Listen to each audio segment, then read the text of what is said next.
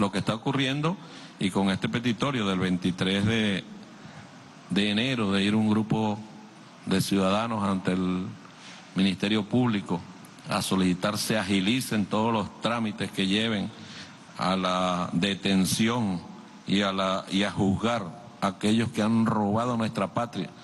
teniendo como factor principal al jefe de esa banda, que es el señor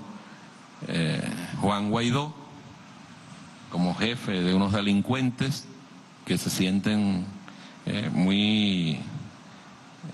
apoyados por el imperialismo, que es lo único que en este momento les queda, que han destruido activos de Venezuela fuera de nuestro país,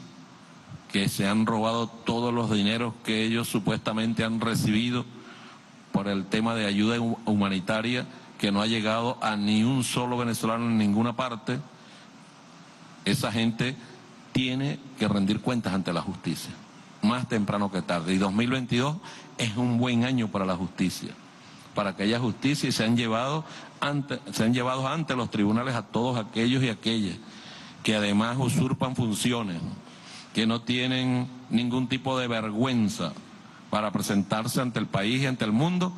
como lo que han sido en este tiempo, unos ladrones de cuello blanco que roban, destruyen con el apoyo del imperialismo. Nada de esto sería posible si el imperialismo no estuviese detrás de estos operadores políticos que tienen aquí. Y el fin de esto ustedes saben cuál es. Si hoy roban de esa manera sin ser gobierno, imagínenlo ustedes gobernando. Cuando ellos hablan de privatizar, bueno, esa es la política de ellos, que no la dicen, no la dicen, la esconden. Pero recuerden aquel programa de gobierno que se presentó hace algún tiempo de un ex candidato de estos de la oposición, que era, bueno, el paquete neoliberal.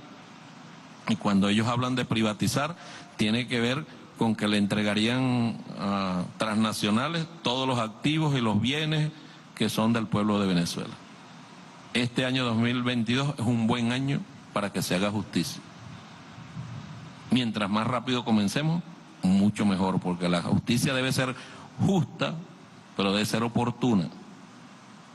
Debe ser oportuna, para que la gente sienta que cuando se cometen delitos deben estar las leyes para tomar las, medidas necesarias para que la persona pague por los delitos que cometa.